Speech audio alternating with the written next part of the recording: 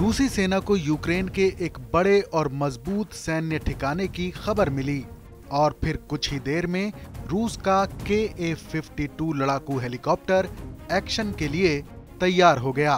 रूस के रक्षा मंत्रालय ने इस मिलिट्री ऑपरेशन का एक वीडियो जारी किया है, जिसमें के ए फिफ्टी टू के पायलट इस हेलीकॉप्टर को हथियारों और मिसाइलों से लैस करते दिखाई दे रहे हैं।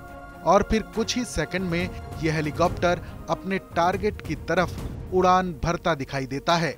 वीडियो में देखा जा सकता है कि किस तरह रूसी सेना के पायलटों ने आर्म्ड फोर्सेस ऑफ़ यूक्रेन, यानी एएफयू इकाइयों के मज़बूत गढ़ों पर मिसाइलें दागी। रूसी रक्षा मंत्रालय ने जानकारी दी है कि इस जंगी कार्रवाई के नतीजे में एएफयू कमांड पोस्ट और उनका सुरक्षा कवच पूरी तरह से नष्ट हो गए हैं लेकिन हम इस वीडियो की पुष्टि नहीं कर सकते, क्योंकि रूसी रक्षा मंत्रालय ने इस मिलिट्री ऑपरेशन को लेकर ये जानकारी नहीं दी है कि ये एक्शन कब और कहाँ लिया गया है यूक्रेन में रूस के स्पेशल मिलिट्री ऑपरेशन के दौरान सेना के लड़ाकू हेलीकॉप्टर के चालक दल, यूक्रेन के सशस्त्र बलों के बख्तरबंद वाहनों और सैन्य ठिकानों का सफाया करने के लिए लगातार एक्शन में हैं।